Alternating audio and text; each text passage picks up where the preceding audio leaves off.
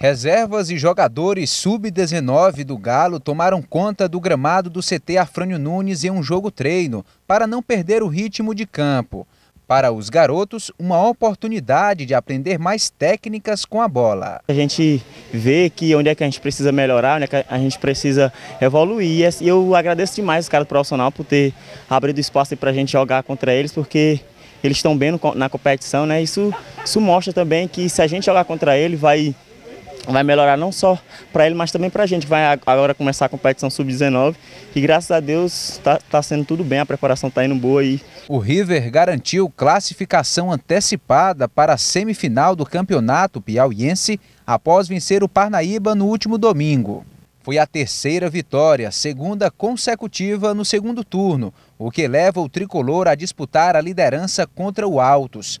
A partida já está marcada para o próximo domingo, dia 30, em Teresina, no Lindolfo Monteiro. Para manter esse ambiente bom, essa confiança, é, nada mais nada menos do que ganhar é, sexta-feira contra o Altos e dar sequência aí na, nas semifinais com essa confiança que, que nos dá vencendo os jogos. A gente deu até uma segurada hoje, né, pessoal que vem jogando, por causa desse ritmo forte. É importante também para a gente recuperar, né, nossa musculatura. E amanhã já deve intensificar de novo os trabalhos até sexta-feira para a gente chegar bem no jogo e, se Deus quiser, sair com a vitória de novo. Para o confronto com a equipe altoense, o plantel riverino recebe o reforço do lateral Wesley, que estava na geladeira. Esse tempo que eu fiquei fora foi muito importante para mim poder recuperar minha parte física, que eu estava muito cansado, trabalhando demais.